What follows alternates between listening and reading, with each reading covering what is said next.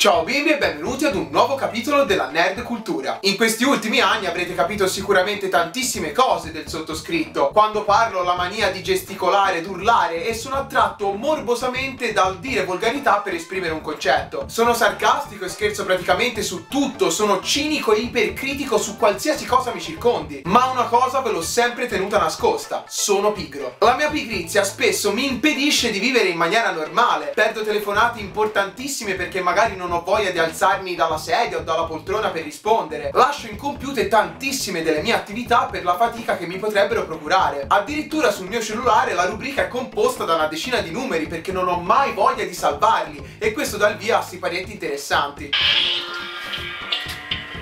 Cazzo? Pronto? Poi, ciao Dario! Boia bello! Grandissimo! Poi è da un botto che non ci si sente! Come stai, Wise? Veramente il meglio di tutti! Ma non sai chi sono, vero? Beh, no.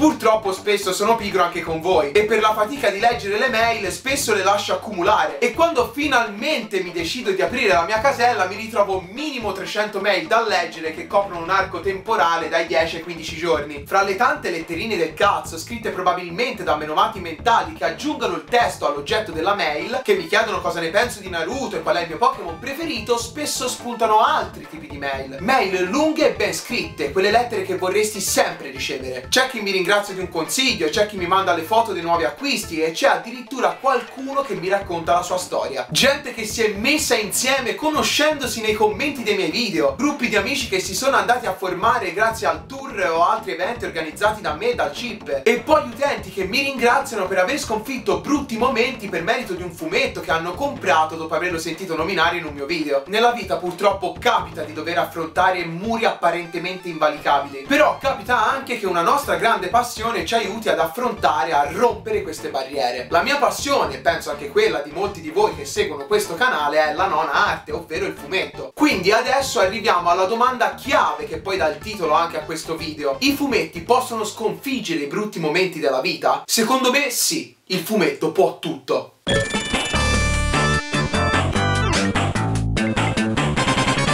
Partiamo da lontano e prendete Tex per esempio. Il primo numero è uscito nel 1948 nel formato per Izoma, andava di moda così a quell'epoca. Da pochi anni era finita la seconda guerra mondiale e l'Italia era in uno stato di confusione assoluta. La gente viveva di merda ed erano un po' tutti allo sbando. Il problema non era solamente mangiare, ma si doveva sopravvivere cercando di ricostruire uno stato completamente distrutto. In quegli anni però, dopo vari esperimenti bonelliani finiti male, arrivò finalmente Tex, che con i suoi sfondi e con le sue avventure a cavallo fra indiani, salune e simili dispari ha fatto sognare tantissimi italiani senza speranza. Tutti quelli che non potevano viaggiare davvero cercavano invece di viaggiare con la fantasia. L'America e i deserti del vecchio West non erano proprio alla portata di tutti in quella fase storica. Forse chissà sarà stato proprio quello a far diventare Tex un vero e proprio fenomeno editoriale che continua ancora adesso. Pensate che bellezza bimbi, con solo 15 lire ti potevi comprare e leggere questa piccolissima striscia che per pochi minuti minuti cancellava la tristezza di un conflitto passato e dipingeva davanti ai nostri avi una realtà che era difficile da vedere anche in foto su qualche enciclopedia. Ovviamente questa realtà veniva fusa anche all'azione, al mistero e all'occulto, perché non mi venite a dire che Mefisto e i suoi mille figlioli o un alieno che schiavizza gli indiani per riparare un'astronave siano cose realistiche, eh? Insomma ragazzi, possiamo dire tranquillamente che Tex è stato un barlume di speranza in una cultura pop che stava nascendo prepotentemente anche nel nostro paese. Anche l'America non fu da meno, pensate pensate a Superman, il supereroe per eccellenza, apparso per la prima volta su Action Comics numero 1 nel 1938. Superman arrivò di punto in bianco in un'America disastrata dalla depressione, dalla disoccupazione e poi successivamente dalla guerra. Superman è l'incarnazione della speranza, dell'America che non si vuole arrendere, dell'iperpotenza in tutte le sue forme. E per tutta una storia le persone hanno sognato un avvenire migliore grazie al bazzone col mantello rosso. Superman, tutti gli altri supereroi della Golden Age e tutti gli altri fumetti fumetti americani venuti fuori in quel periodo hanno rappresentato proprio questo, un grande sogno, anche da parte di chi li ha disegnati. Tantissimi fumettisti infatti per cercare di sfondare, per proporre nuove idee ad un pubblico americano apatico e squattrinato, hanno fatto di tutto per poter lavorare a contatto con le proprie passioni. Hanno disegnato e scritto ore e ore sfidando la salute, hanno fatto lavoretti extra per accimolare qualche spicciolo necessario a comprare il materiale da disegno. Sono passati da una casa editrice all'altra, dato che in quel periodo periodo storico qualsiasi azienda falliva in un momento.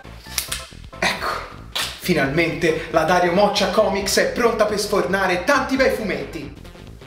Dario, mi è arrivata ora la notizia. Siamo falliti. Nonostante questo, però, alcuni di questi sognatori ce l'hanno fatta. Jack Kirby, Bob Kane, Siegel e Schuster. Tutte persone che si sono arrangiate per far diventare il fumetto qualcosa di superiore. Cari miei, entrando in fumetteria oggi potrete trovare di tutto, qualsiasi tipo di cosa. Ma prima non era così. Il fumetto era considerato una cazzata completa e soprattutto era gratis. Era una nota a piedi pagina sui quotidiani. Non si finanziavano i fumettisti comprando albi albi, non c'erano serializzazioni, non c'era Death Note che vi piace tanto, non c'era un cazzo. Se questi giganti si sono fatti il culo e si sono impegnati per darvi quest'arte che adesso tutti noi conosciamo, è stato solamente per il desiderio di costruire un futuro migliore per noi lettori e per i nuovi fumettisti. Volevano un mondo dove tutti potessero esprimere i loro pensieri, le loro storie e la loro arte attraverso vignette e balloon. Quegli artisti non sono poi così tanto diversi da voi che sognate aprendo e leggendo i vostri nuovi acquisti acquisti. Prendete per esempio Will Eisner, l'inventore della graphic novel, del romanzo a fumetti, via. Per tutta la sua vita non ha mai smesso un momento di sperare in una nuova concezione della nona arte e di una sua rivalutazione. Si è sempre battuto per rivoluzionare tutto e ce l'ha fatta. Ha ribaltato qualsiasi canone, ha cambiato l'impostazione delle vignette, il modo di fare e raccontare storie, ha fatto brillare la parola fumetto di una nuova luce. Tutti, e dico tutti, devono stare zitti ed imparare da lui. Leggetevi il volume raccolta Life in a Pictures per capire che tipo di uomo era, per capire come lui vedesse la sua città, il suo popolo e le storie che brulicavano intorno a persone apparentemente insignificanti. Non c'erano colpi di scena incredibili o superpoteri impressionanti, c'era solo la presa di coscienza nel dire io disegno e scrivo per il pubblico, voglio comunicargli qualcosa, voglio mettermi alla prova e vedere cosa posso ottenere dal fumetto, voglio cambiare la vita degli altri in meglio. Will Eisner e tutti gli altri ci hanno passato un sogno che molti molti prima di noi hanno accolto per superare crisi, per vivere meglio e sorridere un po' di più. E anche adesso la nona arte serve a quello. Per esempio, molti di voi andranno sicuramente ancora alle superiori, un periodo della vita possiamo dire agrodolce, fatto di sacrifici, compiti, rapporti, bigliettini nelle mutande e ormoni che invadevano le aule con un dolce aroma di palle. In mezzo a tutti questi elementi ci sono stati dei validi compagni a darci una mano, i nostri compagni di banco, il nostro migliore amico e magari i nostri primi amori. Insieme a loro però c'era un altro valido alleato che nei momenti di crisi e di farfalle nello stomaco per un compito difficile ci ha assistito, magari strappandoci una risata, l'agenda comics. Almeno io avevo lei, le sue strisce sono sempre state di qualità e mi hanno aiutato a rilassarmi mentre magari stavo per tirare un banco nel viso ai professori stronzi. Ho amato Nirvana con le sue freddure alte e intelligenti. Dilbert che con la sua satira ci aiutava a capire la situazione dei cravattari chiusi negli uffici e usati come macchine da lavoro. C'erano i Peanuts, Lupo Alberto, le vignette di Alta, nei monologhi di grandi comici italiani come Guzzanti o Luttazzi. Ma una cosa su tutte mi ha sempre colpito di più di questa agenda, la mia striscia preferita, ovvero Calvin e Hobbes di Bill Watterson. Mi sono subito innamorato di questi due personaggi assurdi che insieme cercavano di combattere la monotonia della vita grazie all'uso della fantasia vivida e pura. Infatti Calvin è un bambino vivace e pestifero che ne combina di tutti i colori e al suo fianco c'è una tigre di pezza chiamata appunto Hobbes che tutti vedono come un semplice peluche ma che nella sua fantasia è una tigra vera che può interagire con lui. È diciamo un suo amico immaginario, dato che Calvin possiamo dire che è un bambino anormale, completamente diverso dagli altri bambini o dai suoi compagni di classe. Vede tutto come un gioco, come un mondo parallelo popolato da dinosauri, alieni mutaforma, robot giganti che più ne ha più ne metta. Calvin è un artista, un piccolo genio che grazie all'aiuto di Hobbes riesce a trasformare la più piccola e insignificante cosa in una magica avventura dove tutto è possibile. Le battute e le vignette di Calvin e Hobbes sono il concentrato di tutti i sogni dei bambini messi in contrapposizione alla realtà alienante chiusa in una scatola piccolissima. Ogni volta che guardo le fantastiche tavole colorate di Watterson, la mia mente non può far altro che ritornare fra i banchi di scuola e ripensare con nostalgia che in quel momento non ho mai amato così tanto il fumetto. Quando sfavatissimo mi accingevo ad aprire il diario per annotarmi la lezione, c'erano Calvin e Hobbes insieme a tutti gli altri a consolarmi. In questo caso il fumetto è stato potentissimo e ha aiutato molti di noi nella crescita e nella formazione. E a proposito di crescita, se a scuola avevamo la comics, fuori da lì, ovvero ai giardinetti, da un nostro amico, o perché no, anche nel bagno, nel cestone delle riviste, avevamo Topolino. Parlare della sua storia editoriale, di tutti i personaggi che sono passati in questo settimanale è praticamente impossibile, almeno in poco tempo. Diciamo solamente che Topolino è stata una rivista ben conscia del suo potenziale e l'ha sfruttato per donare a tutti noi ben più di storielline politicamente corrette. Topolino e i suoi più grandi autori hanno gettato le basi per creare una rivista completa. I gadget montabili uscita dopo uscita, i cicli a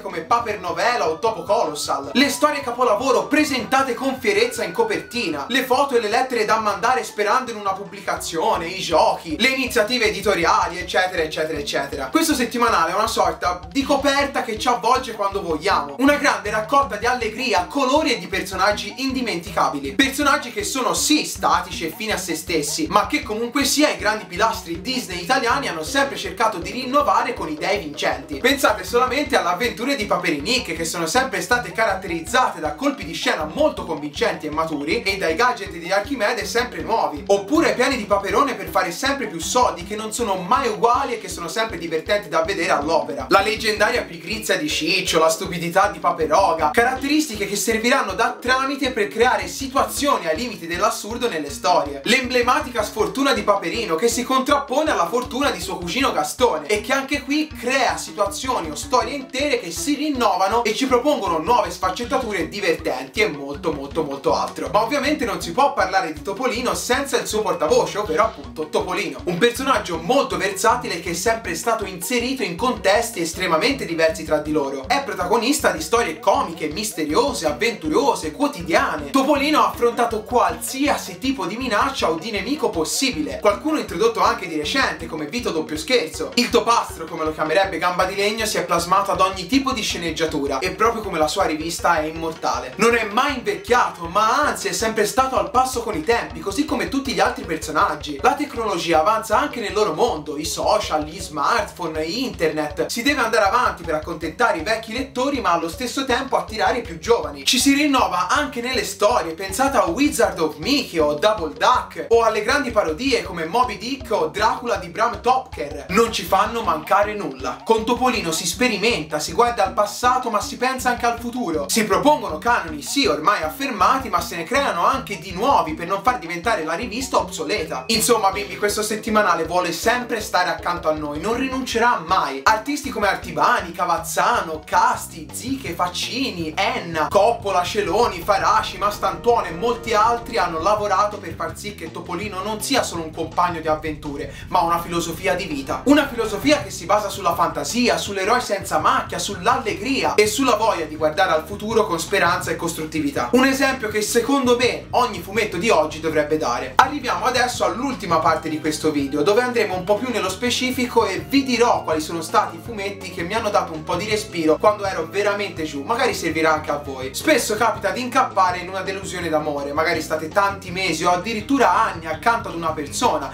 e gli o le date il cuore e lei prontamente ve lo mangia nel viso e vi lascia perché vuole testare un rapporto sessuale con un vogatore. Dopodiché state di merda e tutta la realtà che vi eravate costruiti sparisce lasciando il posto al nulla. È successo a me, è successo a molti miei amici e probabilmente è successo anche a molti di voi. Ecco, invece di alcolizzarvi o altro, prendete un fumetto ed iniziate a leggerlo. Non pensateci, ma anzi, aiutatevi. Un manga che mi ha aiutato parecchio in situazioni simili è stato Video Girl Lie di Masako Katsura. Si parla di amori complessi, alcuni addirittura fantascientifici, dove l'emozione e il sentimento sono ancora acerbi e spesso sfociano nell'immaturità. Vediamo storie di ragazzi confusi, altruisti ed egoisti, dove in loro regna l'amore puro, l'amore della giovinezza, guidato solo dall'istinto, non esistono mezze misure. Crediamo di amare una persona e poi invece scopriamo che il nostro cuore appartiene ad altri. Ci affezioniamo a dei momenti incancellabili, memorizzando i profumi, i sapori, gli sguardi di complicità fra noi e il nostro partner. Un appuntamento nel vostro posto speciale, il momento in cui vi siete incontrati per la prima volta, ma anche il momento in cui avete pianto insieme, che avete litigato ferocemente per poi riappacificarvi scambiandovi un bacio pieno di sentimento. In questo manga respiriamo e assimiliamo tutto quello che è il primo amore, il primo bacio, le prime voglie sessuali. Video Girl Lie è la storia giusta per sfogarvi e per rivivere emozioni che avete dimenticato. Ma non fraintendetemi, non servirà a farvi sentire tristi, anzi, la malinconia vi aiuterà a riscoprire queste sensazioni su carta per ritrovare il coraggio di riprovare provare un sentimento complesso e ingarbugliato come quello dell'amore. Oltre alle perdite amorose ci sono momenti purtroppo dove perdiamo qualcuno a noi caro, un amico, un parente e a volte uscirne è veramente difficile. Oltre al sostegno della famiglia, degli amici o di altro ci può essere anche il sostegno delle passioni. Prendiamo per esempio il mio amato One Piece, la sua freschezza, i suoi personaggi, le sue sottotrame, le ambizioni e i sogni dei nostri protagonisti ti possono far salire a bordo della loro nave e lasciare la tristezza fuori dalla porta. L'ironia e la sfrontatezza di Onizuka in GTO, le parodie e la demenzialità di Keroro o di Medaka Box ci aiutano a ridere di brutto e a isolarci da tutte e da tutti. I valori altissimi che comunicano gli scontri e le avventure dei protagonisti di Shaman King, difendere l'amicizia ad ogni costo e trovare la pace interiore per vivere in armonia con il mondo. La commozione che si prova godendosi le partite ben costruite di Slam Dunk. Partite fatte di gocce di sudore che inglobano sacrifici, voglia di rivalsa sociale, rivalità, grande ironia e vignette ultra dinamiche che spingono l'azione ai massimi livelli. Ogni schiacciata, passaggio, tiro sono un brivido che ti percorre lungo la schiena. Le partite non sono mai scontate. Non sai mai se i tuoi giocatori preferiti possono davvero vincere la loro partita della vita. Salti insieme ad amici per eseguire uno slam dunk e fare canestro mentre il pubblico ti acclama. La palla è la tua tristezza ed il canestro è la tua salvezza. La mano sinistra è l'ausilio per la destra. Provate anche voi a leggere i fumetti per arricchirvi dopo uno sconforto e per superare i momenti brutti della vita.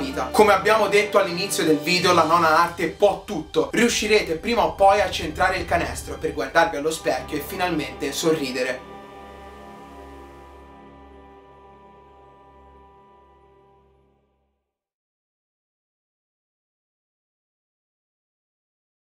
Allora ragazzi, anche questa nostra piccola avventura è finita. Come al solito vi raccomando di condividere il video su ogni social network possibile e di mettere il mi piace. E poi un'altra cosa molto più importante. Voglio sapere adesso quali sono stati i vostri fumetti oppure qual è stata la vostra passione che vi ha aiutato nei momenti difficili della vita. Qual è stato il videogioco, il fumetto e il libro che vi ha aiutato di più, che avete più nel cuore. Sarò curioso di leggere tutti i vostri commenti e magari di rispondervi, quindi scatenatevi. Siccome molti di voi mi chiedono via mail se ci sarò ad eventi, a feste del fumetto, eccetera, eccetera, vi raccomando di seguire la pagina Facebook perché tutti gli aggiornamenti li do lì, anche sui nuovi video. Posto sempre immagini spoiler, indizi per nuovi video, consigli, collaborazioni, qualsiasi cazzata. Cercatela, compiti per casa Dario Moccia. Mettete mi piace lì perché quella è l'unica pagina ufficiale. Come al solito vi saluto, iscrivetevi al canale, un bacione dal vostro amico Dario Moccia. No, Lore, questa la devi vedere assolutamente. Ah, cosa? Vedi?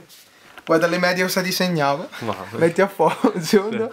Sa- Ah, questa è la mia agenda, la comics delle medie, ragazzi. Le avventure dell'Enzi, numero uno, però ho controllato, ce n'è solo una di avventura. Allora, c'è questo dottore che fa finalmente, la mia creatura è pronta, ora nasci. E c'è lui che fa chi sei? Tipo Mewtwo, no? Ero già fissato con i Pokémon, la bestia. Per com- ah, chi sei per comandarmi? Boom, esplosione, distrugge tutto. E l'embrione dell'Enzi esce, si Eh, trasforma e diventa il vabbè. Lenzi che dice sono diventato un ragazzo, sono libero, andrò qui. E c'era scritto Casa Lenzi, cosa cazzo c'è scritto? E Aspetta, continua. Insomma, c'è scritto continua, però Continua. qui non- che peccato, ero curioso di sapere questa avventura. Autoconclusivo.